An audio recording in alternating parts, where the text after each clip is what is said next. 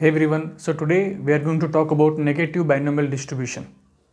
Now what is it? So it's a probability distribution of the number of occurrences of successes and failures in a sequence of independent trials before a specific number of success occurs. Now let me try to explain you this. Now suppose uh, Ronaldo, Cristiano Ronaldo, so a big famous football player.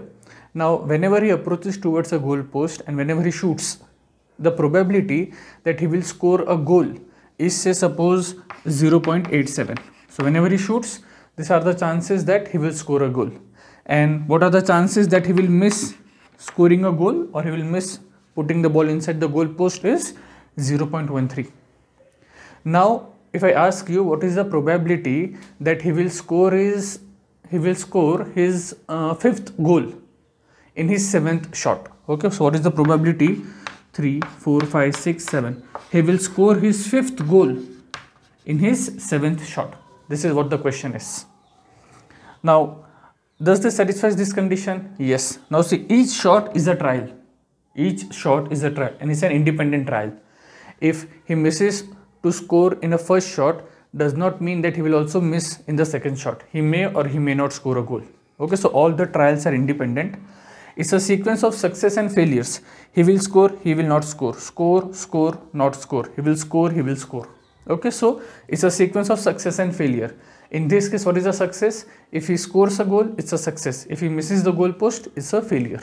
So it's a sequence of success and failure of independent trials before a specific number of success. In this case, the fifth goal occurs. So this is what it means. Now we will come back to this example, but why the word negative binomial distribution? So little bit of digression. So let me recall what we have studied earlier in the binomial distribution. You can see my earlier lecture, link you can find in the description. So what is a binomial distribution? So when you have a discrete random variable, in this case also discrete random variable, okay? When we have some nice four assumptions, which we call as a binomial process, then we have the binomial distribution.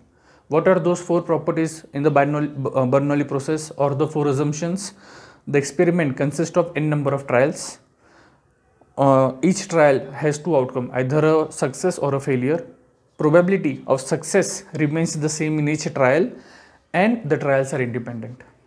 Now here everything is same except the first one or not the first one I would say is the kind of other way around. So in binomial you do n number of successes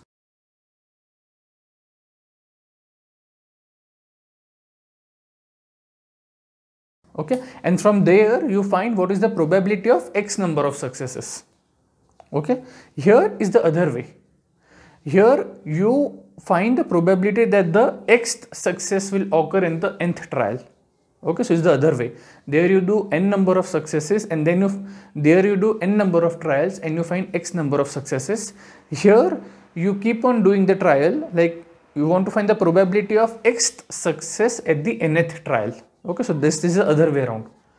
N and then the number of successes your x success at the nth trial. Okay so that's why the word negative because it's kind of reverse way. So that's that's why the word negative binomial distribution. Okay so here you do n number of trials to find out your rth success where r is already given. Okay so that's what it means. So now let us try to understand this with the help of a same example. So here it is given that the fifth success and at the seventh trial so after that you don't do the experiment. That's where you stop here. Now what is the probability of this? That he will score his fifth goal on the seventh shoot. Now that means this is the fifth goal. So earlier he will score how many goals? Four goals. So suppose you have goal, goal, goal and goal. And other two will be missed, missed shots. Okay. Now what is the probability of this missed shot? 0.15 what is the probability of this? 0 0.85 8 what i said i said 87 right? So this will be 13 now the trials are independent. So probability of this is probability of missed into probability of g into probability of g and so on. So missed is 2 times and the probability of success is how many times? 5 times. So this is what you have. So p is the probability of success. P raised to 5u your q is 1 minus p. So q raised to 2 which is 7 minus 5 now this was one possibility. Other possibility will be what? Uh, goal missed, goal miss, goal goal or goal goal missed, missed goal goal. So now question is how many such possibilities are there? Now this is fixed. Now so these are how many positions? Six position and I want to fill four go goals, right? So out of six, I want to fill four positions with goals. So this is the, the total probability that X will take the value 5. That means the fifth success occurs at the seventh shot. In general, the formula is the probability that this is x minus 1, k minus 1. So this is the xth trial and the kth success. Like in binomial, it was the other way, right? It was the nth trial and the xth was below. Here other way, x and k down. Okay. P raised to what was this? This is 5. So it is k minus 1. So p raised to k into q raised to x minus k.